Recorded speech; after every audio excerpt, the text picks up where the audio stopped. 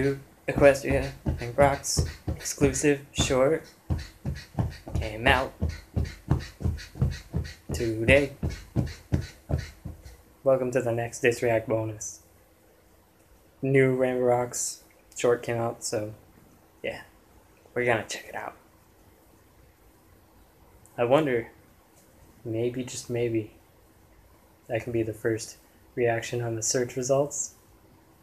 I don't know, just came out, so yeah. Let's do it. Uh, it's called Perfect Day for Fun. So, uh, according to the description, Twilight's in this one. It's all the main six, I guess. So, I guess Twilight is in the movie. Originally, I thought she wasn't going to be in the movie, but I think that was just me being stupid because I think she was in the original trailer. Ow. Anyway, let's get started. Three, two, one, play.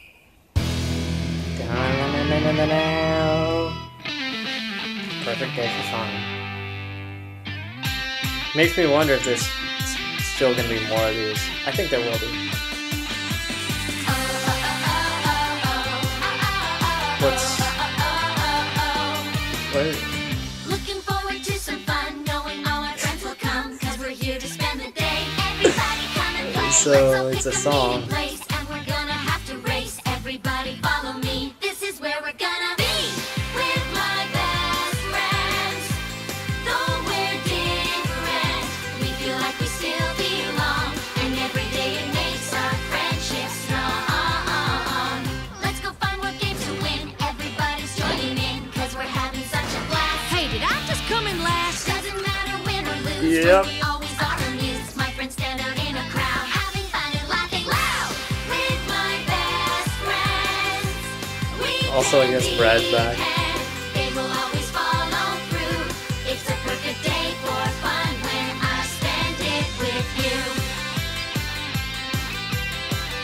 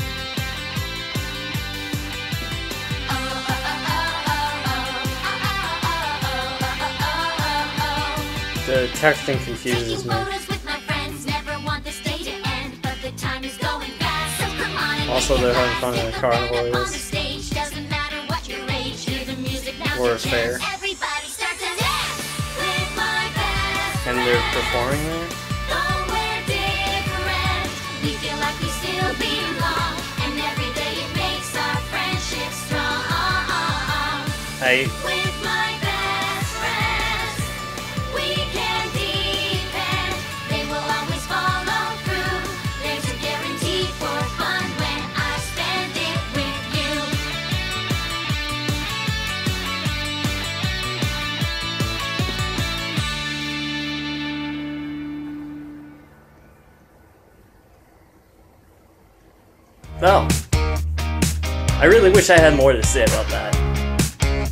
Uh, kind of how I felt like with the original trailer. Kind of bored me. I'm sorry, but there really wasn't much going on. It was just a song, no context.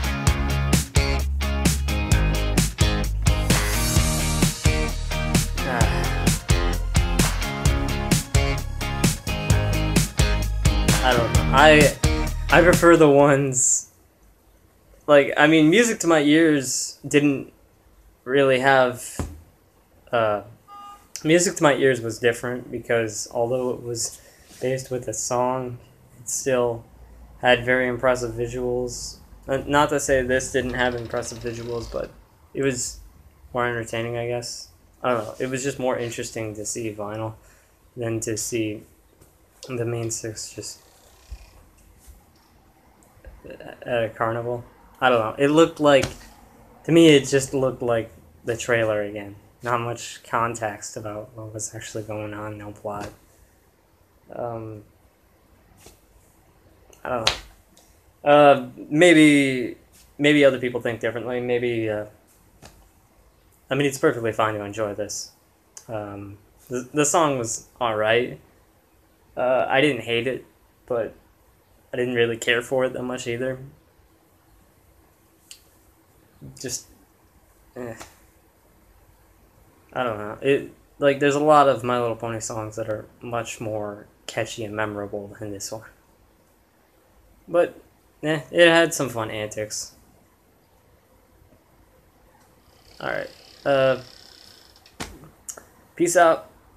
Hope to see you guys next time, and I hope to see more shorts. Hopefully one's a little better than this.